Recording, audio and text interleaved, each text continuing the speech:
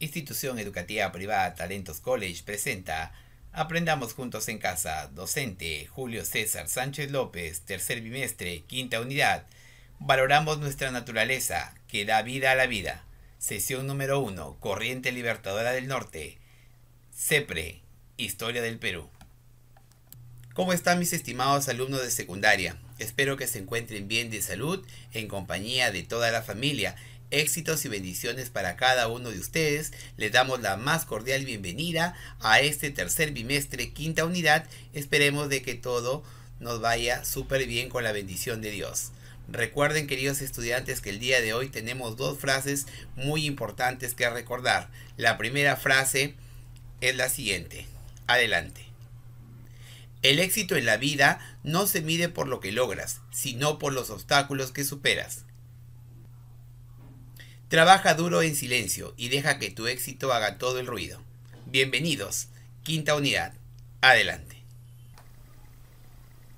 Hola mis estimados alumnos de secundaria, bienvenidos al tercer bimestre quinta unidad, a la clase virtual del día de hoy.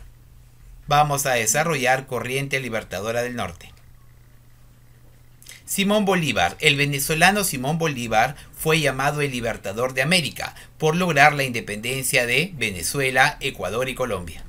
Simón Bolívar nació en Caracas, Venezuela, el 24 de julio del 783. Sus padres fueron Juan Vicente Bolívar y María Concepción Palacios. En 1823 llegó al Perú donde organizó un ejército unido libertador que logró las victorias en las batallas de Junín y Ayacucho 1824. Acompáñame a continuación a ver un corto video sobre la biografía de Simón Bolívar. Adelante. La llegada de Cristóbal Colón a América marcó el inicio no solo del descubrimiento de un nuevo continente, sino de una etapa de poco más de 300 años en donde enfermedades, esclavitud, explotación y tortura fueron actos cotidianos para muchos de los pobladores nativos colonizados. Con el pasar de los años, los hijos de españoles nacidos en América fueron quienes comenzaron a cuestionarse las acciones que la corona española realizaba en el nuevo continente, inspirándose en los textos del movimiento cultural e intelectual que se desarrollaba en Europa, llamado Ilustración. Uno de ellos fue Simón José Antonio de la Santísima Trinidad Bolívar Palacios Ponte y Blanco, mejor conocido como Simón Bolívar, de origen vasco-venezolano, nació el 24 de julio de 1783 en Caracas, Venezuela.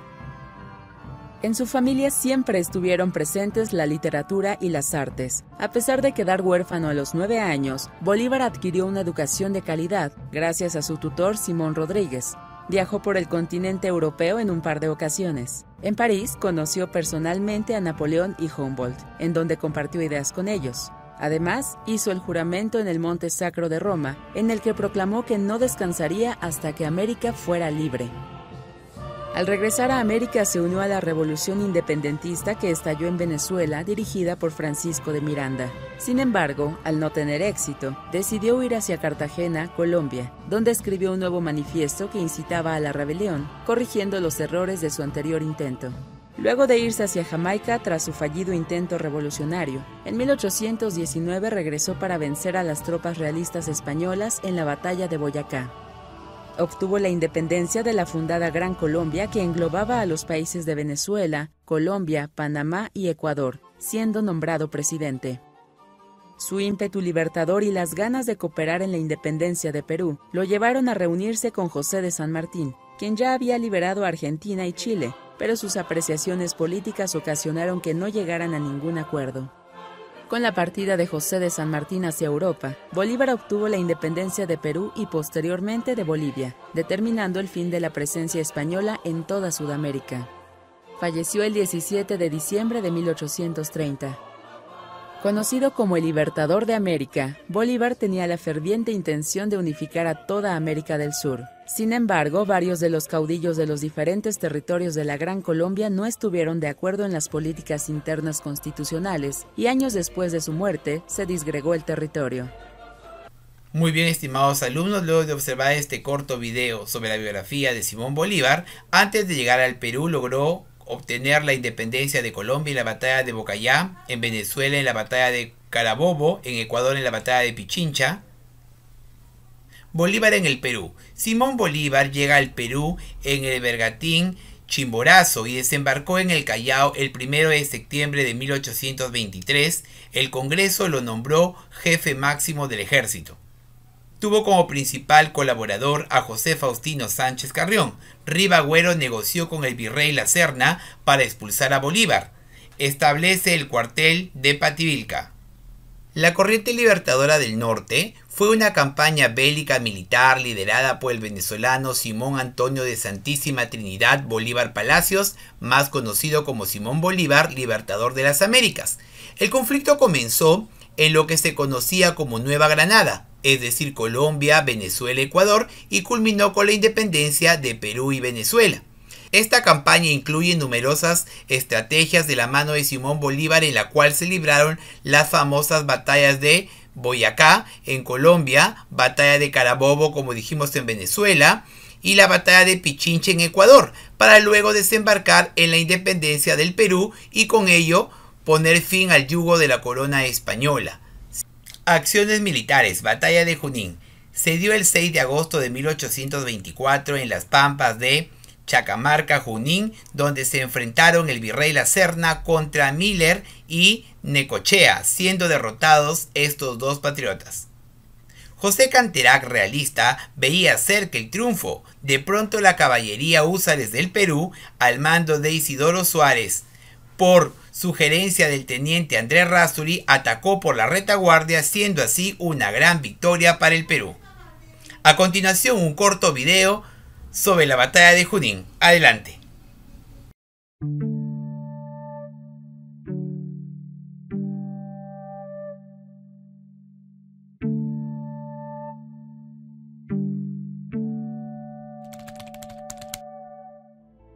El 6 de agosto de 1824 ocurrió la batalla de Junín. Fue el penúltimo enfrentamiento armado que tuvieron los ejércitos españoles y patriotas. En el camino hacia la independencia del Perú, la batalla se libró en las pampas cercanas al lago de Junín, en la cordillera central peruana. Una de las causas fue la división de las fuerzas del virrey, luego de que el rey Fernando VII abolió la constitución liberal de Cádiz, ocasionando la segmentación de las tropas españolas.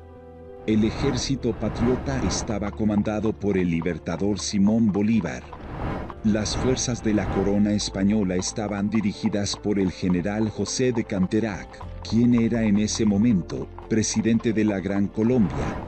La batalla de Junín duró 45 minutos y se libró a punta de armas blancas. Cuando parecía una segura derrota peruana, aparecieron los húsares del Perú al mando de Isidoro Suárez y Andrés Rasuri cuyos hombres potenciaron a los patriotas y lograron la victoria independentista. A partir de ese entonces, los húsares del Perú pasaron a ser húsares de Junín. Batalla de Ayacucho. Se desarrolló el 9 de diciembre de 1824. Las tropas patriotas al mando de Sucre y las tropas realistas al mando del virrey La Serna se encontraron en la Pampa de la Quinoa, a unos 12 kilómetros de Huamanga en Ayacucho. La batalla de Ayacucho fue el último enfrentamiento armado que sostuvieron los ejércitos españoles y patriotas. Luego de ello se tomó prisionero a Canterac, quien firmó la capitulación de Ayacucho.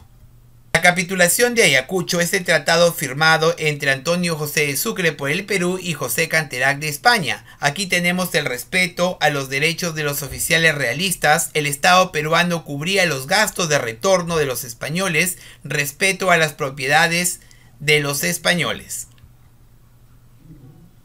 La independencia del Perú fue conseguida por la participación de la Corriente Libertadora del Sur y la Corriente Libertadora del Norte, los ejércitos de las naciones hermanas como Argentina, Colombia, Chile y Venezuela, que contribuyeron decisivamente a derrotar al ejército de la corona española. A continuación, un video de la batalla de Ayacucho. Adelante. La batalla de Ayacucho fue el último gran enfrentamiento dentro de las campañas terrestres de las guerras de la independencia hispanoamericanas, dadas en el año de 1809 hasta el año de 1826. y significó el final definitivo del dominio administrativo español en América del Sur. La batalla se desarrolló en la pampa de Quinua, Ayacucho, en Perú, el 9 de diciembre de 1824. El general José de la Serna, virrey del Perú en aquel entonces, marchó con su ejército en persecución de los nacionalistas. A medida que la administración colonial estalló en el caos hacia final de 1823, Bolívar sintió la oportunidad de entrar en el Alto Perú al sur y envió a su segundo al mando, Antonio José de Sucre, para atacar durante los meses de primavera. La batalla de Ayacucho se inició a las 9 de la mañana.